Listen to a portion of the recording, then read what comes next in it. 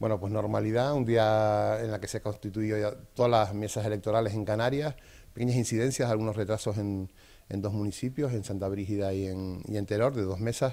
de, estamos hablando de en torno a 15 minutos, y nos permiten afrontar unas elecciones con normalidad, en las que están convocados, como saben, más de eh, 1.800.000 canarios a votar. Mm, son unas votaciones muy importantes, las elecciones europeas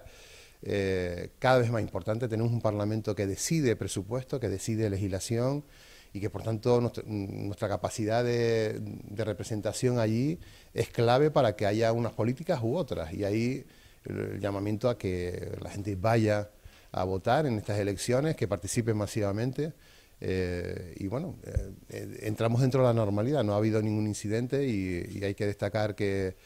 que bueno, tenemos casi 3.000 representantes de la Administración en los distintos colegios electorales, con lo cual vamos a dar un ejemplo también, una vez más, de tener unos resultados rapidísimos en nuestro país, con absoluta transparencia, y gracias al trabajo de, la gente que está en las mesas electorales,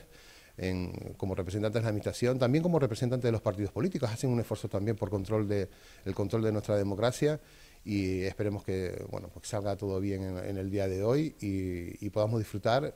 como sea, de los resultados electorales de, este día.